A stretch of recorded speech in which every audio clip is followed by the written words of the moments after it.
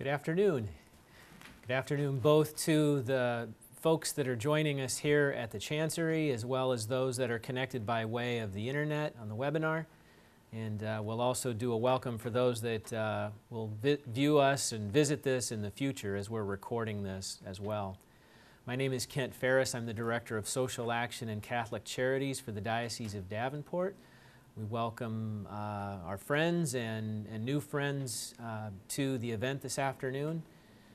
Uh, we are uh, co presenting with the um, members of the National Alliance on Mental Illness from the greater Mississippi Valley as well as uh, NAMI of Johnson County.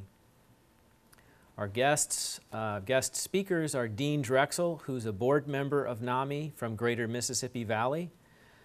Anna Goodwin, trainer with NAMI Greater Mississippi Valley. And also joining us is Carol Porch, board member, NAMI Johnson County. We begin in prayer this afternoon. Prayer for protection during the storms of life. Loving God, maker of heaven and earth, protect us in your love and mercy Send the Spirit of Jesus to be with us, to still our fears and give us confidence. In the stormy waters, Jesus reassured his disciples by his presence, calmed the storm, and strengthened their faith. Guard us from harm during the storms of life and renew our faith to serve you faithfully. Give us the courage to face all difficulties and the wisdom to see the ways your Spirit binds us together in mutual assistance. With confidence, we make our prayer through Jesus Christ our Lord. Amen.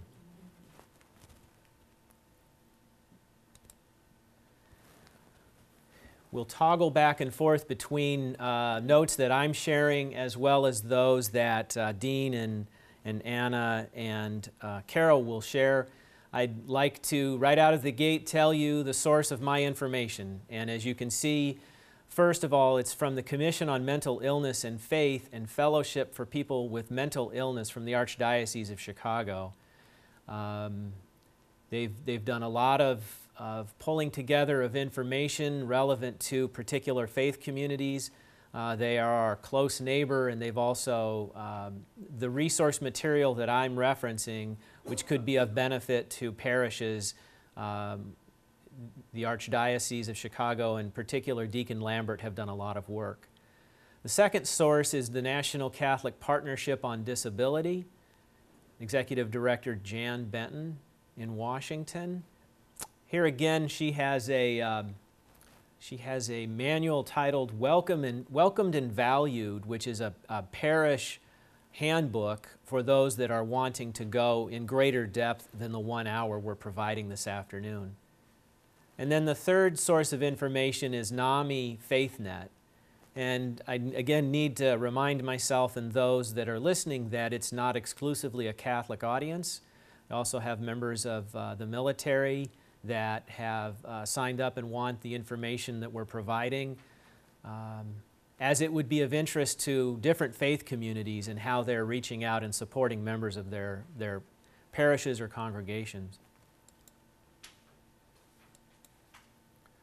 Specific to uh, the Catholic faith, there are a couple of quotes I wanted to make reference to, and the first one is from the Second Vatican Council. As individuals and as a nation, therefore, we are called to make a fundamental option for the poor, the obligation to evaluate social and economic activity from the viewpoint of the poor and the powerless arises from the radical command to love one's neighbor as one's self. Those who've been marginalized and whose rights are denied have privileged claims if society is to provide justice for all. This obligation is deeply rooted in Christian belief. And as a matter of justice, it happens to be rather common language amongst the different faiths.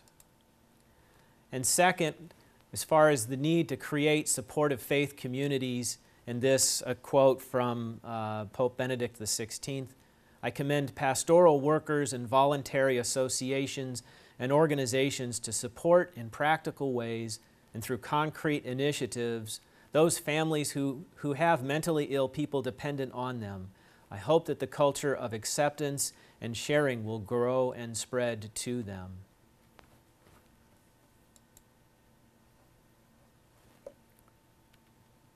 I will now turn the microphone over to my colleague Dean and have him uh, continue on with the, the next part of our presentation.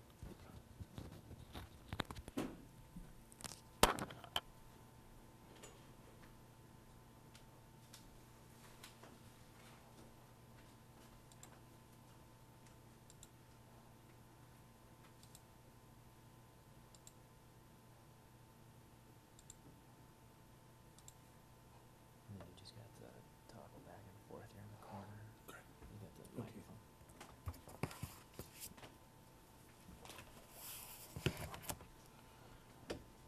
Good afternoon. Uh, Thank you, Ken, for the introduction and for, okay, technical.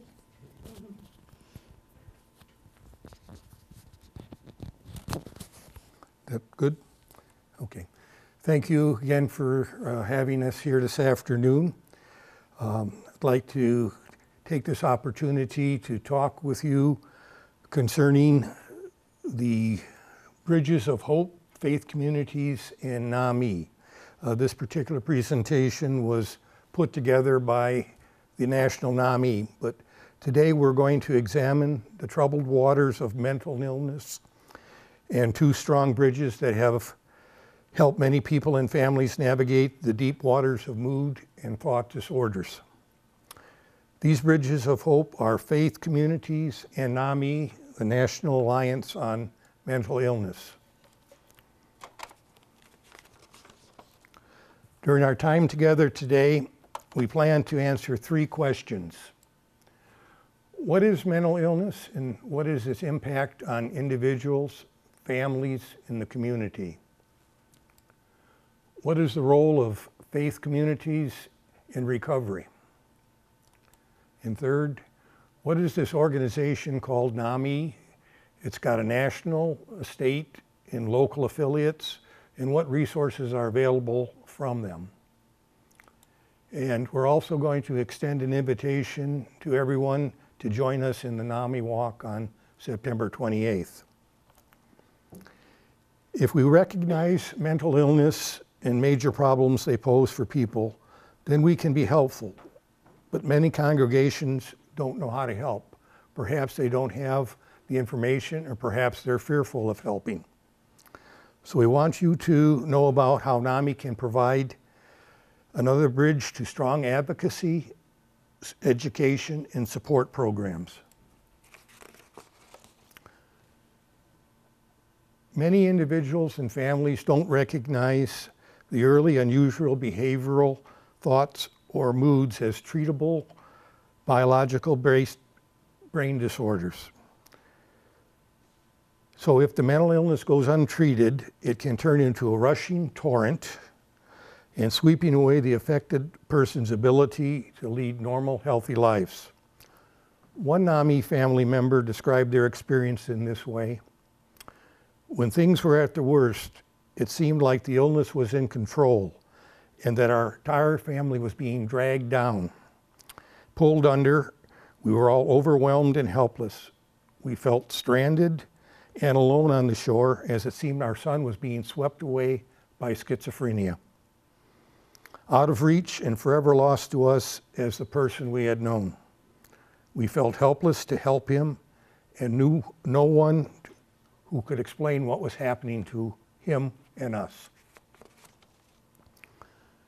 Even today, as advances in research and treatment options, with the advances of treatment options, there are still people who know too little or nothing about serious mental illness. They may struggle themselves or know others who suffer, but there are so many other ways to help if only they knew how. Too many ill moms, dads, veterans, youth, boys and girls simply drift away, caught in the rapids of emotional and mental torment. Families are torn apart, lost, or wasted. Coping with mental illness is bad enough, but to get the proper treatment is even more difficult, especially if you don't have adequate health insurance or health coverage or have no advocate to help you overcome the barriers to treatment.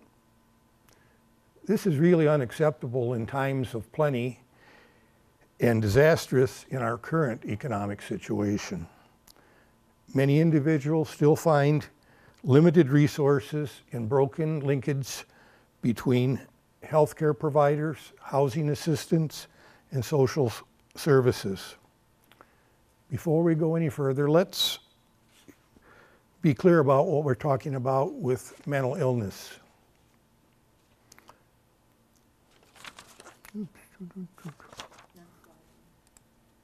Ah, thank you. First and foremost, it's a serious medical condition. These are medical conditions, disorders of the brain that disrupt the person's thinking, mood, ability to relate to others, and perform daily functions. Just as diabetes is a medical disorder of the pancreas, mental illnesses are biologically based disorders of the brain that can result in diminished capacity for coping with ordinary demands of life. Major mental illnesses include major depression, schizophrenia, bipolar disorder, obsessive compulsive disorder, and borderline personality. These are equal opportunity illnesses. They affect everyone regardless of age, race, income. Or they're not the result of poor upbringing or lack of character.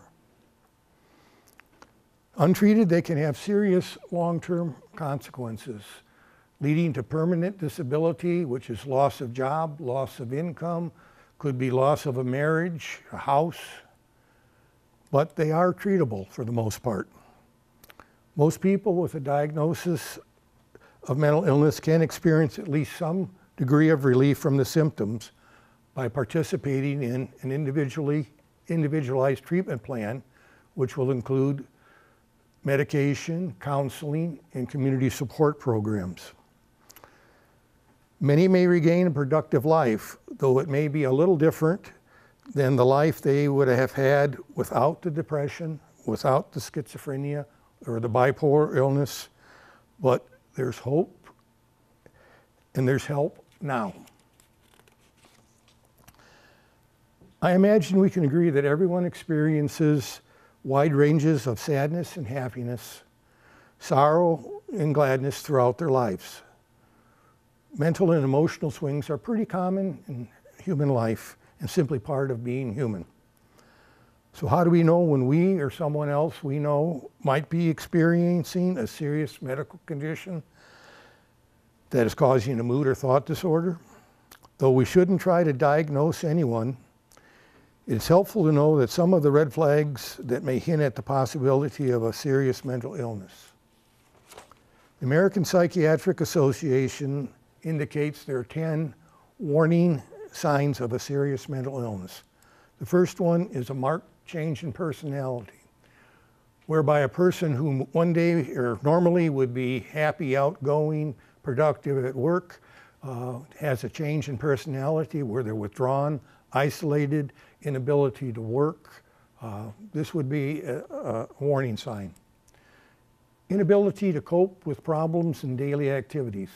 For persons with a serious mental illness, losing the car keys can be, cause a major meltdown.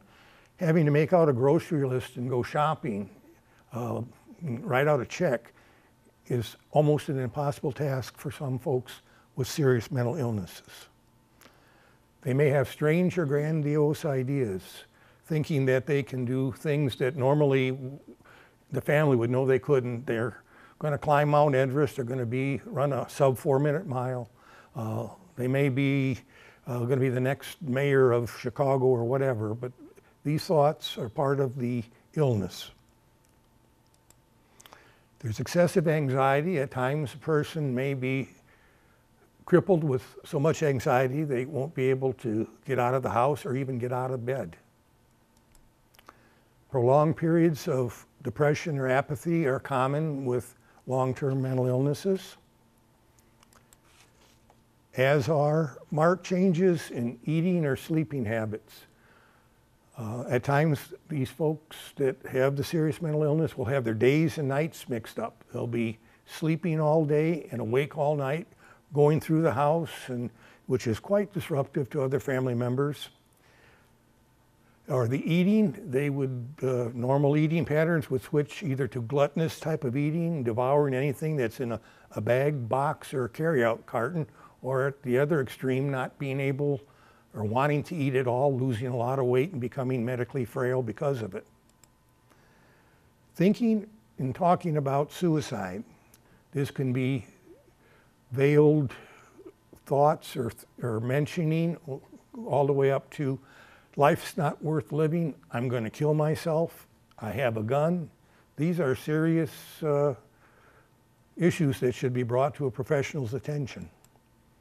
Extreme highs and lows. Mood changes or activity levels can change on a daily basis uh, where the person may be uh, unable to get out of bed in the morning and at night are just all over the place, uh, can't slow them down. The abuse of alcohol and drugs is another warning signal. Uh, people that experience psychiatric symptoms oftentimes tend to self medicate. Uh, alcohol uh, tends to relieve depression for a time. Uh, marijuana, a street drug, relieves some of the symptoms of schizophrenia.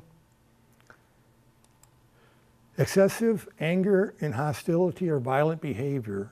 The inappropriate behavior outbursts could be directed at family members, co-workers, bosses, um, government officials, the postman, uh, even the clergy or the office secretaries. If a person displays one or more of these warning signs consistently over a two-week period, they should be evaluated by a mental health professional. It won't help to tell them to get their act together if they truly have a brain disorder any more than telling a person that's got a broken leg, get up and walk. I hope this helps clarify some of the differences between normal thought and mood and uh, abnormal mood disorders. How prevalent is mental health? I would think that now you're asking, I've never heard anybody talk about it in the congregation, or maybe they're whispering it in the corner, or uh, somebody at the checkout line may have said something, but it's not something people talk about regularly. But if we consider communities, faith communities, to be microcosms of a larger population, the facts on your screen will relate to the prevalence of mood and thought disorders in your congregation. One in four adults experiences a mental health disorder in a given year. About one in 17 lives with a serious mental illness. By that I mean someone who has a bipolar, major depressive, or a schizophrenic disorder. 26% of the homeless population also has serious mental disorders. There's an estimated 5.2 million people that have both substance abuse and mental health issues or addiction disorders, can be alcohol also. Continuing on, our jails seem to be treatment facilities, if that's what we can call them, for a lot of mentally ill folks. I think this number is maybe a little light, but uh, 20 to 25 percent of jail and prison inmates and youth involved with juvenile justice systems have a mental illness. Um, I think that number is higher. It's unfortunate. We lose one life to suicide every 15.8 minutes. Now let's think about that a moment. This webinar is going to last a little over an hour. During that time, there'll be four people in our country that will have killed themselves in suicide. Suicide is the 11th leading cause of death in the United States, the third leading cause of death in ages 10 to 12, 24. Um, over 90% of those who take their own lives have a diagno- diagnosable mental illness. And finally, the baby boomers have seen an increase in suicide rates. They rose 45% between 1999 and 2010. And uh, I consider myself, I'm on the one early end of the baby boomers or pre-baby boomer. But uh, this increase in suicides can be attributed uh, to uh, the financial woes that they've experienced in the recent years and also being sandwiched in caring for their parents and adult children. This has taken a lot of stress and a lot of toll on families. So the rates are considerably increased. Now we're going to talk a little bit about the statistics on some of the major illnesses. Uh, major depressive disorder affects 6.7% of the adults. That's about 14.8 million. Now, is it any wonder that you and I are seeing an awful lot of commercials on TV for antidepressants? A lot of people out there with major depression. About 2.4 million Americans live with schizophrenia. That's a little over 1.1% of the population. Bipolar illness affects the lives of 5.7 million adults. This is approximately 2.6% of the population. Um, this might be a surprise, but the biggest category of serious mental illness is anxiety disorders, affecting over 18% of the adults. 40 million people are dealing with anxiety disorders. Um, these include phobias, obsessive compulsive um, behavior, post traumatic stress disorder, anxiety disorders also are the seat of a lot of physical ailments that get misdiagnosed, or not misdiagnosed, but get treated at the doctor's office. 20% of the doctor's visits are related to the physical symptoms of anxiety shortness of breath, dizziness, insomnia, lack of concentration, uh, physical aches and pains, gastro problems. Many of these things are physical symptoms that anxiety disorders cause. So, and this last bit of information is, is fairly striking. Uh, adults with the serious mental illness are likely to die 25 years younger than other Americans. These we're talking about the bipolar, the major depressive, and the schizophrenic illnesses, uh, largely due to treatable medical conditions that these folks unfortunately haven't taken care of during their lifetime. So uh, a lot of premature deaths, and I've experienced this firsthand in the work I've done uh, with uh, supported housing. We had people moving in in their uh, late 40s, early 50s, and you know had died early from natural causes. And uh, um, so, not that they don't want to take care of themselves, but the illness affects their ability to take care of their medical problems. Uh, the prevalence of mental illness in children has been increasing. Uh, in adolescents uh, are on the rise. Half of the cases of lifetime mental illness begin by the age of 14 and three quarters by the age of 24. One in 10 children with lives with a serious mental illness and it affects their their school activities, their social interaction, the dropout rate and failure rate. Research today shows that early diagnosis and treatment of children with serious mood or thought disorders significantly improves their chances for recovery and to lead successful lives. This is also true of adults that have mental illness and discovered later in life. Despite effective treatments, there are long delays when people seek and receive treatment. Fewer than one third of the adults and half the children with a diagnosable mental illness fail to receive any mental health services in a year. Which leads us to the faith, people of faith uh, are not immune to any of the statistics or numbers that I've talked about, to the terminal trauma that untreated mental illness can lead to. And with that, I would like to turn over the presentation to Anna Goodwin, who will be talking about uh, the faith community and faith-based uh, services in recovery. Thank you.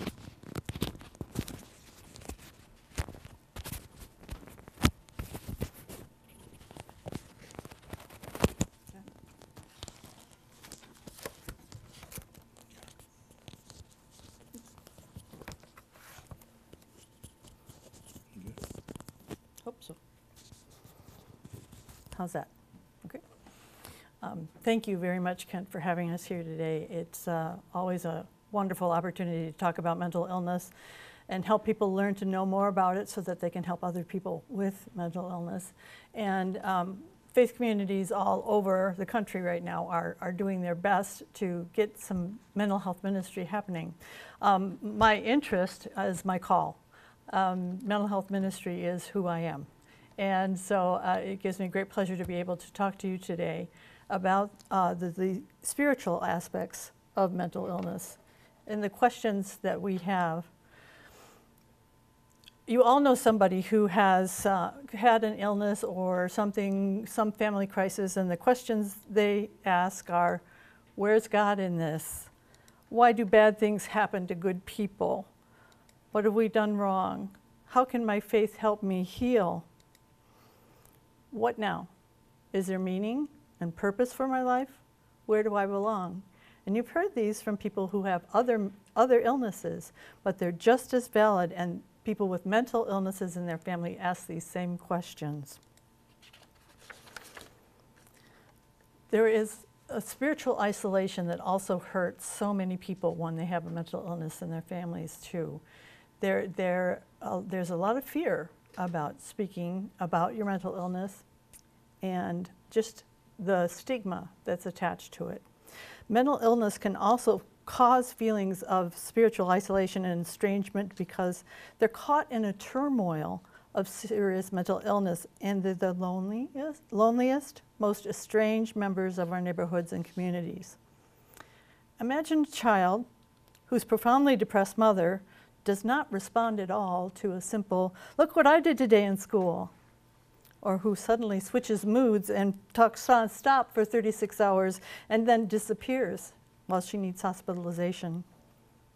Imagine what it's like to have your father tell you before he goes to work to keep an eye on your mother, who is potentially suicidal, and when you get home from school. But he is so preoccupied that he never really explains what it's going on and never asks you how you're doing, and neither does anyone else.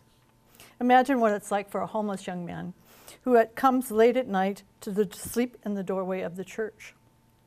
He leaves early in the morning before anyone knows he's there. Then one day, exhausted, he sleeps late and is awakened by the custodian. The young man cringes, tired, tearful, sad, and ashamed. The good news is that mental illnesses are treatable and that people can regain control of their lives thanks to advancements in brain research and the development of better medications. Everyone responds differently to the various treatment options available, but for about 75% of people with depression, schizophrenia, severe anxiety disorders, and bipolar disorder, treatment works to varying degrees. So, what is involved in treatment and diagnosis? Usually a thorough physical examination because there are many physical ailments that can mock or, or imitate, mimic the same, um, the mental illnesses. So we want to make sure that we're really dealing with, if we're dealing with a physical illness or a mental illness. Then if there is, doesn't seem to be a physical problem or a physical reason for behaviors, an evaluation by a psychiatrist is helpful. Um, he, a psychiatrist may recommend more tests uh, may recommend a medication or two or three, depending on the individual. And uh, in a crisis situation, it may be that he recommends, he or she recommends hospitalization. An individual or group counseling by a certified mental health counselor or therapist is very, very helpful. Um, I myself have been through lots of counseling, uh, lots of psychiatrist visits, and I, I find them to be necessary for both of them to be part of my life, for me to, to stay healthy and well. Um, supportive services by a social worker can be helpful in the case of serious mental illness because, as Dean said earlier, sometimes you can't write a check. Sometimes you lose your keys and it, it just sends you all over the edge. So it's necessary to provide more significant help with a person who has a mental illness then sometimes we are ready to believe that they need that help but it's, it's real. Education about serious illness for the individual, family, and friends, that's the one place where NAMI will come in, and I'll talk to you a little bit more about NAMI later. But that education is so valuable. It hits you out of nowhere, and you have no idea what's going to happen, and you, you need to not feel alone, and there are ways to do that. And the faith community, communities can be part of helping people not feel alone. And of course, healthy eating, sleeping and exercise habits, which I'm sure everybody who is watching this has, right? Okay, no, take care of yourself because it, is important to get your sleep. It is important to eat right and to exercise. There's no one single way to treat mental illnesses. Treatment is different for each individual. Some people find alternative and naturopathic ways help them toward recovery. So it's very different. There's no one solution. So, what is the role of faith communities? They are in a unique position to help people living with serious mental illness. Let's look at some of the factors that give communities, faith communities, the edge on being supportive and helpful in this area. First of all, clergy are often the first person you may turn to in a serious crisis. They're usually on the front lines of mental and emotional crises but few clergy feel prepared to respond effectively to those experiencing a psychiatric disturbance. Furthermore, churches are more numerous than mental health care providers, and they are more evenly distributed geographically. You may be living in a place that doesn't have any mental health care, and, uh, but you do have several churches, and you may have a church family that's helping you uh, with, with what you're struggling with and they can you the faith community can help you move forward. Faith groups already provide educational settings, so a larger percentage of Americans can gain awareness and get the help they need. Faith groups are already committed to social justice issues and advocacy for the marginalized, poor, and oppressed. Many individuals affected by mental illness, faith is the key component in their recovery. I saw this myself when I was um, first facilitating support group for people with mental illness that was then called NAMI Care.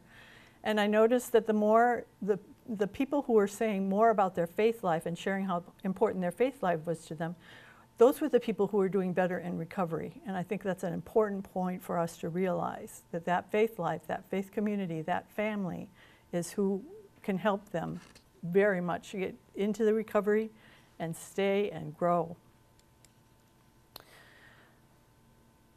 Putting it simply, congregations provide a place to belong and experience hope.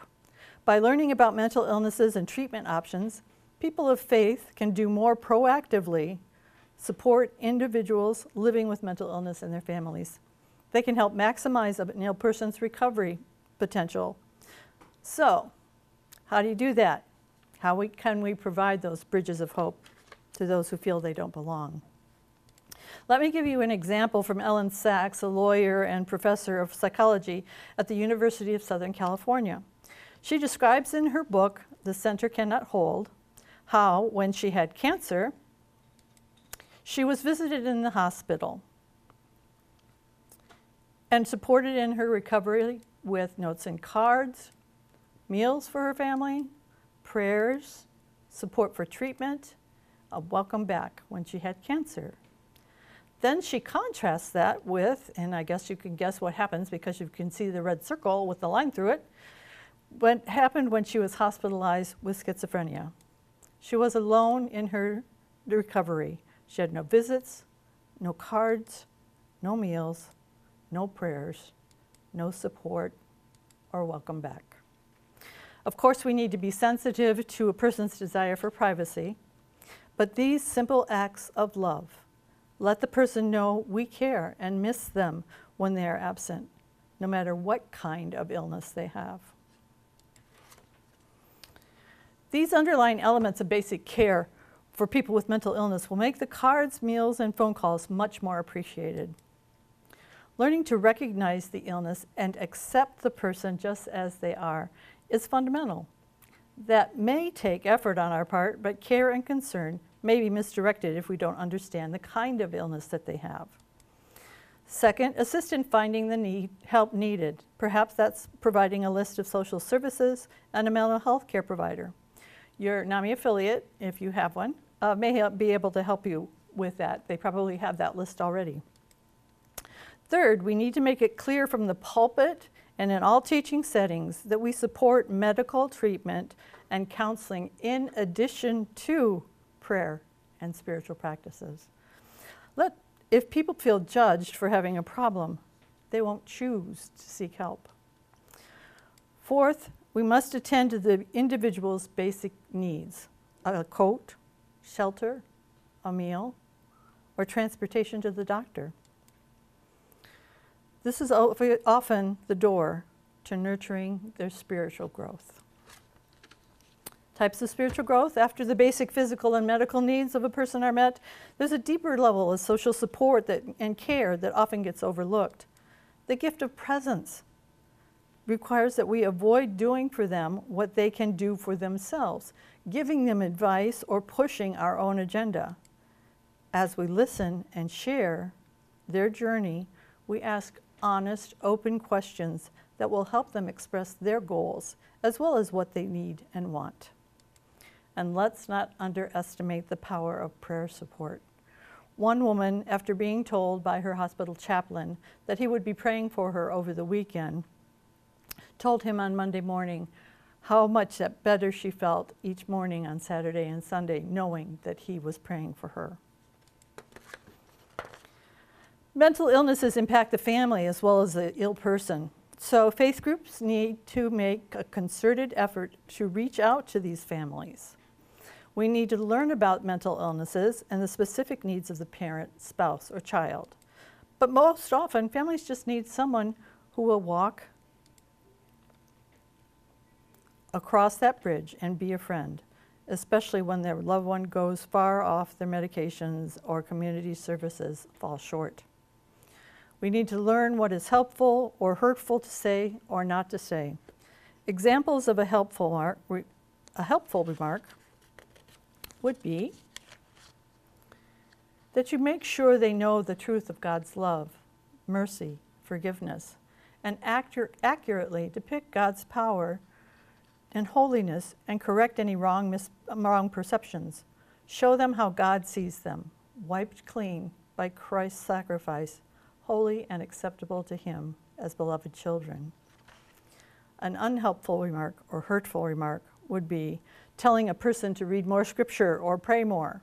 It is much like turning, trying to turn a lamp on in a house as usual, but the bulb is turned, burned out and no light no matter how many times you bang that switch, no light is going to shine. As we said before, offering information about community health resources is often needed and appreciated. So if you meet somebody that is struggling, you might want to do some research, and NAMI is a good place to do that research. Okay, we've talked a lot about, I'm going to move this arrow. There we go, I want to go forward. Uh, we've talked about practical and spiritual care. Now let's explore ways we can educate and raise awareness in the congregation on a regular basis. Are you familiar with the national awareness seasons during which we can help break the silence and the shame associated with mental illness? May is Mental Health Month. You can get some information about Mental Health Month and things you can do from um, Mental Health America. If you go, if you Google Mental Health America, you'll find it there. July is Minority Mental Health Month. September is National Recovery Month, which we didn't have a generation ago. We didn't talk about recovery.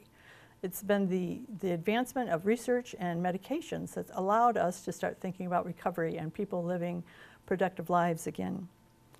The first week of October is Mental Illness Awareness Week, and it is different from all the rest of them say health.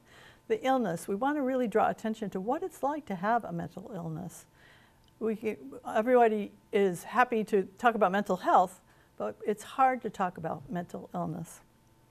Tuesday of that week is the National Day of Prayer for Mental Illness Recovery and Understanding. That might be a good place for you to start with your parish. So, some ideas for uh, observing Awareness Month in order to create awareness in your parish.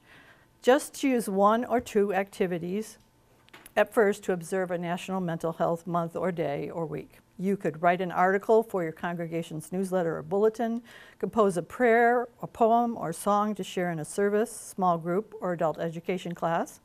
Schedule a speaker from NAMI or a mental health professional. You may even have one, someone in your parish who is willing to do that. Invite members of your faith community to participate in your NAMI walk. And Dean's going to talk about our local NAMI walk here in Scott County, uh, Greater Mississippi Valley, a little later on. Or participate in the state NAMI walk. You can create a bulletin board. The possibilities are numerous.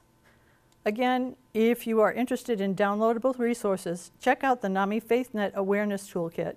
And here's the, uh, ad, uh, the URL address on the screen and the slide, nami.org slash faithnet. Questions to consider. Before we go on, let's relate this to your parish.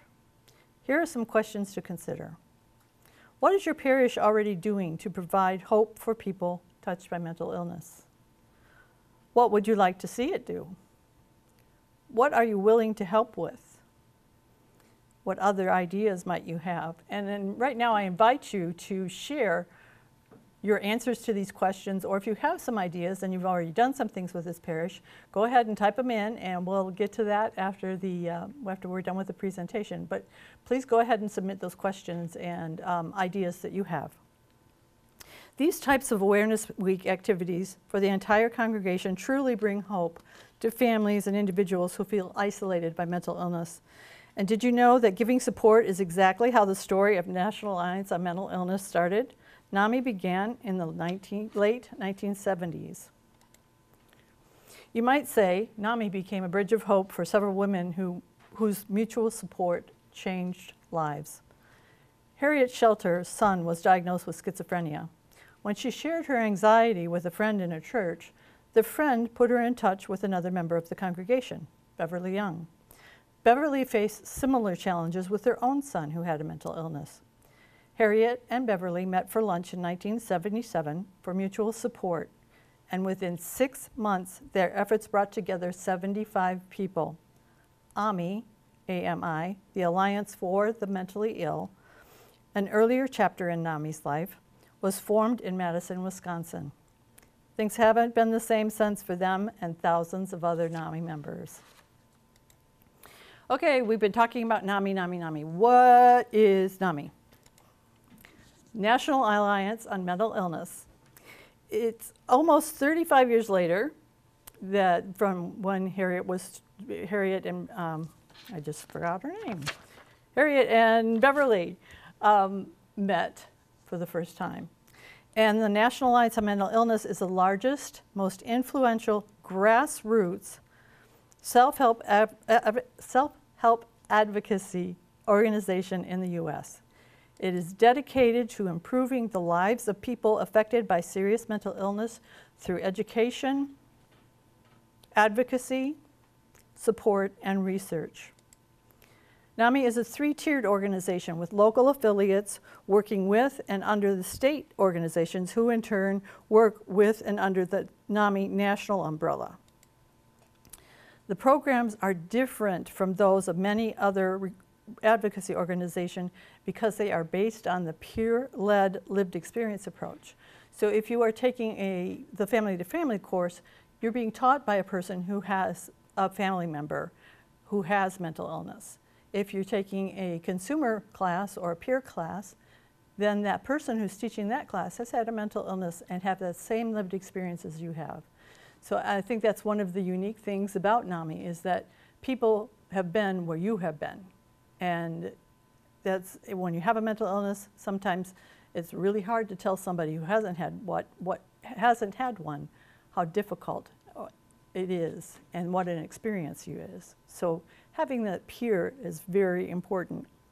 While many NAMI members are mental health professionals, friends, and supporter, the majority of our members are family members and persons themselves who have navigated the tumultuous seas of mental illness and are living productive lives. Again, there's the NAMI website, nami.org, very easy to remember. Um, and NAMI offers several signature programs that are offered at no expense to the participants, and here are just a few of them. Family to Family is a 12-week course for family and caregivers of those living with a brain disorder. NAMI Connection is a peer-led recovery support group that meets regularly for persons who have been diagnosed with a mental illness. NAMI Family Support groups offer mutual encouragement and support to family and friends of those living with mental illness. Peer to Peer is an eight-week course for persons who live with a diagnosis but are stable and ready to take responsibility for their own recovery. And I think that's actually a 10-week course. I think that's a typo. I think that should be 10 weeks now. And there are many others we don't have time to describe. But one of the greatest benefits of all of our NAMI programs is that people discover that they are not alone, that someone else understands. There are three local affiliates that are located in the Davenport Diocese, and we all offer different kinds of programming, and that's why we call it a grassroots organization, because it, the local affiliate decides what they can offer in their own area. And on the screen right now, I have the Greater Mississippi Valley, which was formerly the Scott County affiliate. The title was Scott County. As the Greater Mississippi Valley, we serve six counties, three in Illinois and three in Iowa. And the three in Iowa are Scott, Clinton, and Muscatine. So if you live in those three counties, you can get in touch with NAMI Greater Mississippi Valley and we'll be happy to help you out with any questions that you might have or help you offer these classes where you are. Um, the, so there's the contact information. There's also a NAMI Johnson County, and we'll have Carol come up here in just a moment to talk about that, and uh, NAMI Jasper County in Newton. Each affiliate provides programming that fits their own needs and abilities. Sometimes you'll have a larger affiliate that can offer a lot, like Greater Mississippi Valley, and sometimes in Jasper County, you'll see that there's only one course that they offer, but there's support available. This contact information for NAMI Greater Mississippi Valley on the side will get you information about the signature programs we offer, Family to Family, NAMI Connection, Family Support Group, Peer-to-Peer, In Our Own Voice, and NAMI Basics. We also have a suicide bereavement group and offer other programs during the year, other events during the year. We have a Christmas party and things like that. So Carol uh, Porch, uh, whom I worked with at the national level on the NAMI Connection, rolling out the NAMI Connection program, is here from uh, the Johnson County affiliate. And I'm going to let her talk a little bit because she knows more than I do about Johnson County. Thank you, Carol. Oops. I'm going to die. I'm going to die. I'm going to give you the microphone, and it's probably making all kinds of nasty sounds. I'll be short and to the point. Uh, I want to thank you all for listening today, and I just have some brief things to say about NAMI Johnson County. There's the contact. Mary Isa is our office coordinator. There is our website and our email and our phone. We do have a regular program meeting once a night. That's the third Wednesday of the month at Mercy Hospital. I believe that starts at 6:30 with uh, support groups ahead of that. Uh, if you'd like to check the exact time and what the program is, please call. We do have an office that is open on a regular basis. We don't have that address there, but it's located at 220 Lafayette Street. It's kind of hard to find, so I'll describe it. If you go south from Burlington, past the post office, you take a left directly onto Lafayette Street, drive as far east as you can, and turn left at the long gray building and drive to the north end. Our office is right there, and people there would be glad to help you and give you information. Uh, NAMI Johnson County offers uh, numerous programs, family to family, NAMI Connection, which meets on Tuesday nights, Family Support Group, which meets Thursdays at our office, and peer to peer, as well as in our own voice. And we too have many programs through the out the year, uh, special events and so forth. One thing I would like to point out is if you do not have an affiliate in your area, when you go to the NAMI website, there is a place to click there and check and see if there's another affiliate perhaps close to uh, wherever people live or wherever they're at. We have about 20, I believe, in Iowa right now. And you can call the state office at 800 417 0417.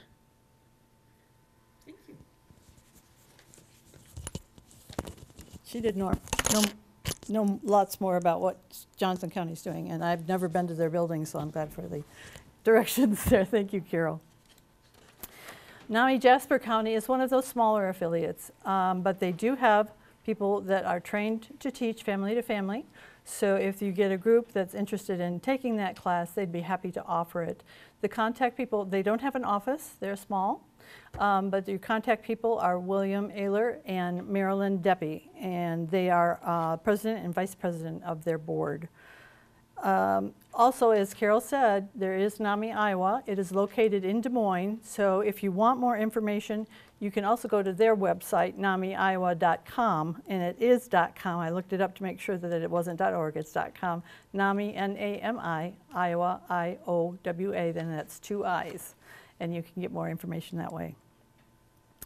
The Bridge of Hope your faith community builds will look different from that built by other organizations and faith groups. Untreated, mental illness can be challenging and destructive for individuals, for people of faith, for families, and for society in general. But our bridges of hope can span the destructive forces of mental illness when we combine our resources with those of mental health providers and community organizations like NAMI. The important thing is that people around you living with a mental illness know that they are not alone that someone can help them over the tumultuous waters of serious mental illness and into a community of care and spiritual nature. We all need to be reminded of something Rosalynn Carter said, and I quote You can make a difference. You can make a difference. You can make a difference. People with mental problems are our neighbors. They are members of our congregations, members of our families. They're everywhere in this country. If we ignore their cries for help, we will be continuing to participate in the anguish from which those cries of help come. A problem of this magnitude will not just go away. Because it will not go away, and because of our spiritual commitments, we are compelled to take action. The NAMI Hope page and helpline will help you connect with a wide variety of, and range of information that we've not had time to cover today. You don't need to be the experts. None of us know all the answers. We simply need to know what and where resources are available. Thank you for the opportunity to talk with you today. Um, please submit any questions you have, and we'll try to get to those if we have enough time. And I see we're coming up close on the end of, the, of our talk. Here's, um, I want to share just one hopeful story. It was 10 years from the time our son first showed abnormal behavior until he was adequately diagnosed and treated. That was after we found a NAMI support group and family to family education course. Through Family to Family, we learned that depression, bipolar disorder, schizophrenia, anxiety disorder, and obsessive compulsive, compulsive disorder are biologically based and treatable. We also learned that recovery is possible. We find, finally could hope for a fuller, more meaningful life for our son and family. NAMI has become the bridge of hope for this family and many, many others. Um, Let me pause for a moment here. Kent, do you want to stop right at three? We, we can go a little bit longer. I've got a couple more slides. Okay. Uh, Dean, you want to come up and talk about the NAMI Walk then? I can briefly. As Dean comes up, here are some other online resources. I don't know if Kent had an opportunity to send out the slides, but um, if you want to uh, get in contact with Kent, he can give you this information as well. And now, because we have, uh, everything needs a commercial, um, we're gonna, we're gonna, Dean's gonna give you a short commercial break on uh, the NAMI Walk for Nam- Greater Mississippi Valley.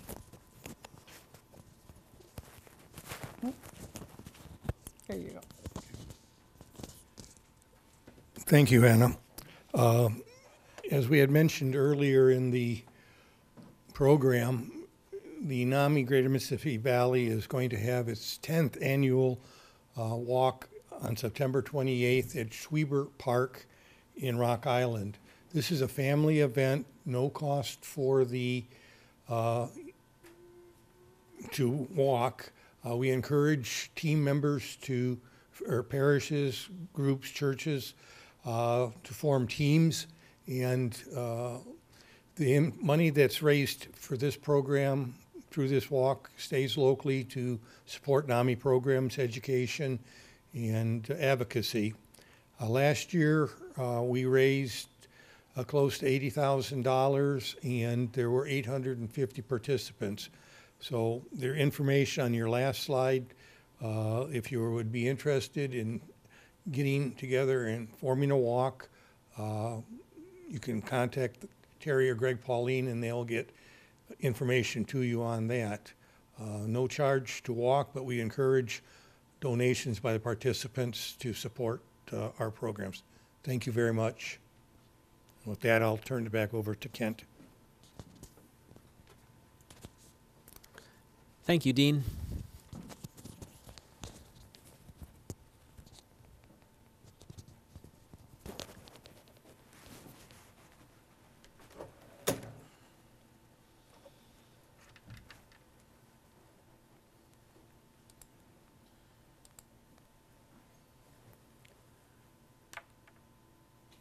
A couple of items that I wanted to mention. The, the seven um, core elements of Catholic social teaching uh, directly relate to the topics that we've talked about, including life and dignity, the rights and responsibilities, as well as the option for the poor and vulnerable.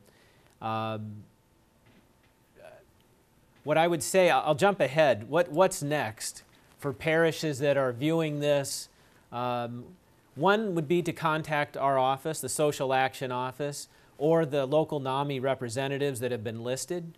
Um, as Dean and Anna have talked about, participating in local awareness efforts, um, the NAMI Walk and other ones, promoting educational offerings, providing information sessions, and helping work on legislative advocacy efforts. The, um, the, the social justice responsibilities that our office have uh, would work very well and closely with the efforts that NAMI undertakes. Um, and so I think that there's, there's great opportunity. The other thing I would mention for folks in parishes is the resources available. Um, in, in the Archdiocese of Chicago, they do a full day, they do a 9 o'clock to 3 o'clock um, uh, information day. So you can easily expand this out. And the resources that I'd mentioned at the first, both uh, both the Commission on Mental Illness and Faith from Arch, the Archdiocese, as well as all of the NAMI resources, as well as National Catholic Partnership on Disability. They're all very good resources, and if you're wanting to know what the next steps are, we've got the folks that can help you talk through it. Additionally, I'd like to thank um, uh, the NAMI of um, the Mississippi Valley um, as a professional who was working in uh, child protection and child welfare for many years, I, I realized the value that NAMI had for families that found themselves in some particularly difficult situations. Personally, however, it was a fellow parishioner who reached out to me and shared with me uh, one of the offerings, the family to family uh, program through NAMI. And it was at that parishioner's encouragement that I participated this past spring in that class. I found it very helpful, not only for the up to date research, um, but also um, for the support that I felt amongst class members. And I, I knew after completing that course that I wanted to try to give back a little bit and to connect the diocese with NAMI. And uh, this, this today is part of that. And then also, uh, our family will participate in the NAMI walk coming up in September. Do we have any questions from the field? No questions from the field? Um, we're, any questions from the audience here at the, at the Chancery? Very good. Okay. Thank you very much for your time. Thank you to the NAMI representatives that were with us. And again, if you have questions after watching the video, please, please feel free to contact our office or the, the NAMI representatives. Thank you.